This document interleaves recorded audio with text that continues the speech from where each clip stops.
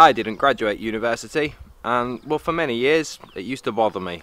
If something bothers us, then it means that it upsets us. But you know, these days, I couldn't give a rat's ass. If we say that we don't give or couldn't give a rat's ass, this is a rather impolite uh, expression that means that we just don't care about something. So be careful using that one. I'm still studying a full-time degree at the University of Life, and I haven't graduated just yet.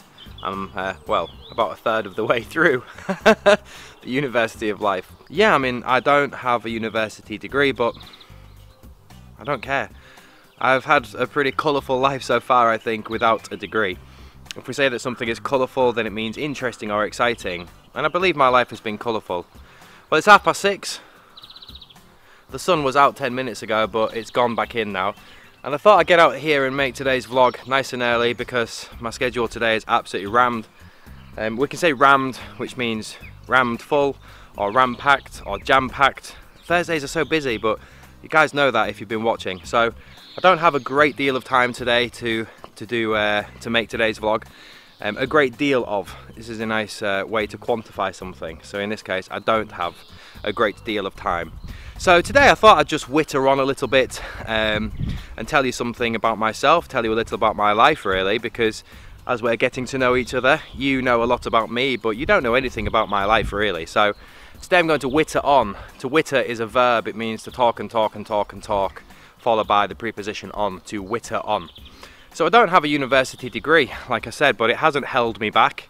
If something holds us back, then it means that it stops us or prevents us doing something. So I've travelled around and I've lived in a few different places. I've managed to find an incredible wife, got two amazing children, and I don't think it's held me back at all. But for some people, university education and qualifying university with a degree is the be all and end all of their life. And that's fine. If we say that something is the be all and end all of something, then it means that it's very important. And I understand why most people have the desire to go to university and, get a degree.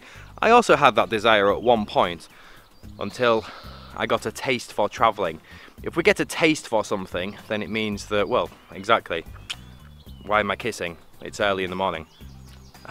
if we taste something, we want more of it if it's good. I got a taste for travelling when I was at school, and from that point onwards, university just felt like a big distraction in my life. All I really wanted to do was travel. Um, so yeah, basically, after school, I had a few part-time jobs here and there, here and there, all over the place. But nothing, you know, permanent really that stuck for quite a long time. I got sacked. That's what happens, verb, we get sacked if the employer tells us they don't want us anymore. I got sacked from quite a few jobs, um, but it was all a big learning curve, a learning curve, you know. Um, everybody has curves in their life where they learn, and that's what it was. It was a learning curve between the age of 18 and 19. I had maybe five or six different jobs. But then I settled on a job which I did enjoy, kind of. It was an interesting job, and for many years I worked as a croupier. I worked as a croupier in the nearest town to me, which is a place called Hull. It's not a very interesting town, there's not very much happening, it's quite small. There's not much of a social scene. As a noun, a social scene means things that are happening around us which are social, fun. So yes, I was a croupier, and that doesn't sound like an English word because it's not. It's a French word in the English language. A croupier is a noun. That's a posh way of saying a dealer. Not a drug dealer, I know what you're thinking. A casino dealer. So yeah, that's right. I used to work in a casino, dealing casino games. Place your bets, please. Spin the ball. No more bets, thank you. no more bets. The ball will drop, the dealer will look to see the winning number and place the dolly on the winning number. that was me for many years and it was colourful.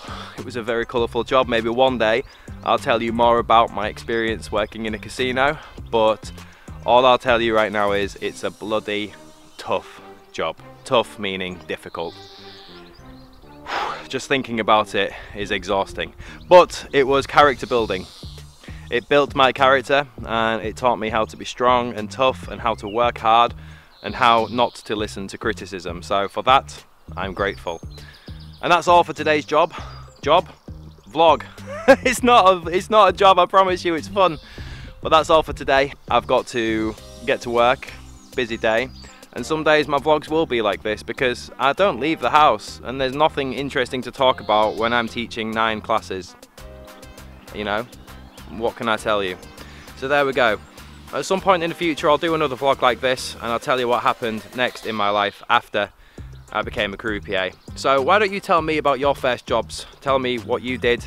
Tell me if it helped you in life. Tell me about your university education. Be honest, if you don't have a degree, tell me, let me know. Don't leave me hanging here all alone. All right, have a cracking day. Great day. I'll see you tomorrow. Bye for now.